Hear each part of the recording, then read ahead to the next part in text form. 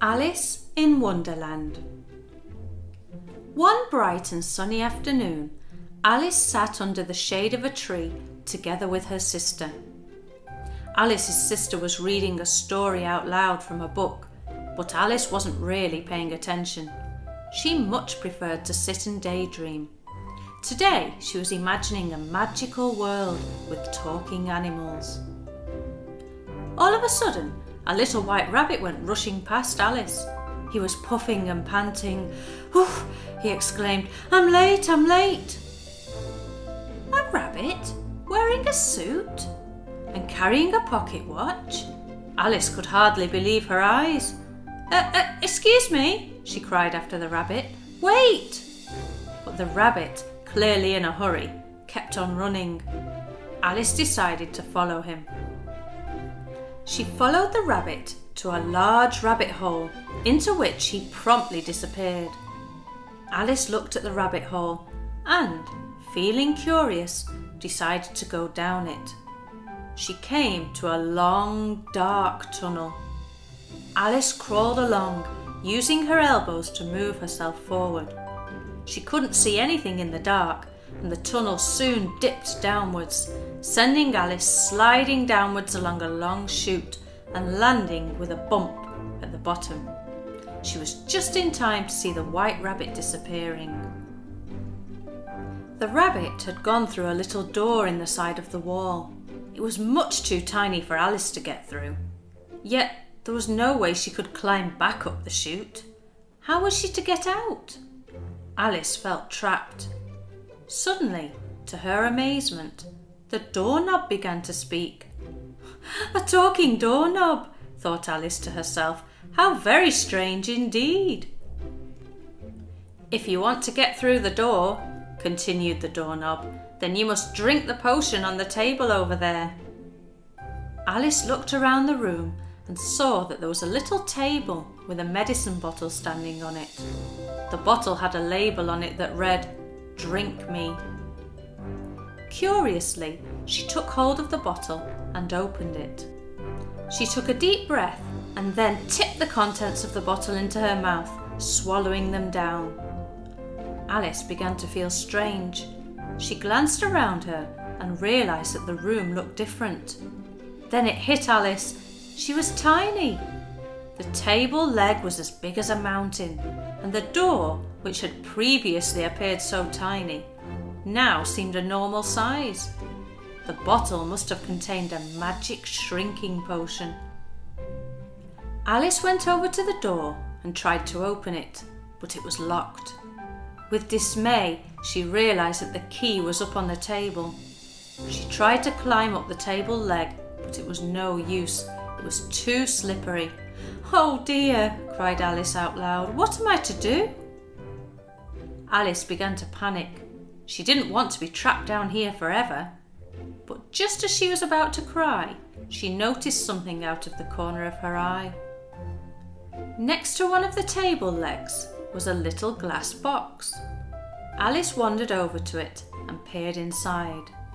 There she could see a little biscuit with the words Eat Me marked on it. Alice picked up the biscuit and took a tiny bite. She began to shoot up slowly. Then she nibbled some more and some more. Soon Alice had grown so tall that her head hit the ceiling. She grabbed the key from the table. But then Alice realised that she was once again too big to fit through the door. She might have the key now, but it was no use if she was too big to get through. Tears fell from Alice's eyes. Huge tears began to fill the room with water. Then Alice noticed the potion bottle. There was still a few drops left in the bottom. Hurriedly, she drank from the bottle and noticed how she began to shrink again. To save herself from drowning in her own tears, she climbed into the glass bottle. Floating, she managed to sail through the keyhole and land on the other side of the door. Alice ambled along until she came across the white rabbit once again. He was standing at the door to our house and mistook Alice for his maid. Come, he said to Alice. Come inside now and fetch my gloves for me. Alice took advantage of the White Rabbit's confusion to have a good look around the home. She couldn't find the gloves that he was talking about, but instead she found some cakes. Unable to resist, Alice took one of the cakes, then another and another. In no time at all, she had transformed into a giant. Her head came through the roof, and her arms and legs broke through the walls of the house.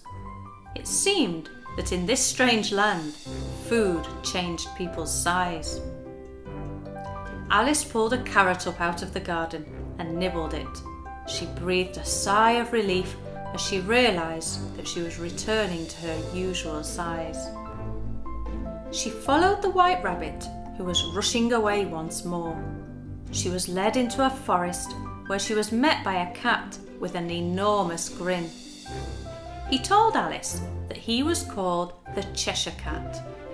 He was sitting in a tree and there were wooden signs all around him, pointing in all different directions. Please, said Alice, could you tell me the way home?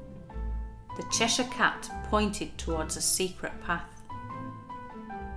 Alice followed the path, but instead of taking her home, it took her to a house with a big long table set out in the garden.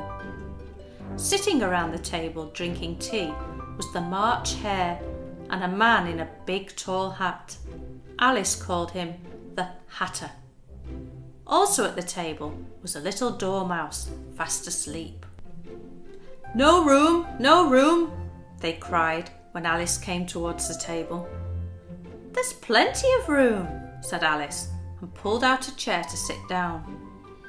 Have some wine, offered the Hatter. I can't see any wine, replied Alice, looking round the table. All she could see were teapots and teacups. There isn't any, exclaimed the Hatter. Well, what on earth did you offer it for then? said Alice. It's not polite to offer something when you know full well that you don't have it. Nor is it polite to sit down without being invited, retorted the Hatter. The Hatter and the March Hare continued to talk absolute nonsense leaving Alice extremely confused. She decided that from now on the Hatter should be referred to as the Mad Hatter, for he really was quite wacky. She listened to their silly tales for a little while longer, before deciding that enough really was enough, and she got up from the table and walked into the wood. Alice saw a castle in the distance and headed in that direction. It was not long before she found herself at the entrance to the castle grounds. There she could see some playing cards. She rubbed her eyes in disbelief. Yes, they really were playing cards, with arms and legs and hands and feet.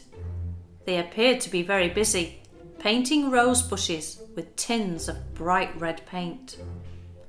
Why are you painting those roses red? asked Alice curiously. We planted white rose bushes by mistake, answered one of the playing cards. We're painting them red to cover up the error. The Queen will have our heads chopped off if she finds out. The sound of a trumpet blowing disturbed Alice, and when she looked in the direction of the sound, she saw that it was the White Rabbit who was carrying the instrument. Behind him was the Queen of Hearts. Upon seeing the girl, the Queen came over and spoke to Alice. What is your name, my girl? she asked. My name is Alice, your Majesty, replied Alice whilst curtsying. Very well, Alice, boomed the Queen. Come and play croquet. Alice followed the Queen of Hearts to an area in the garden set up for a croquet game. It was the strangest game of croquet that Alice had ever seen she was quickly beginning to realise that nothing in this world was quite as you would expect.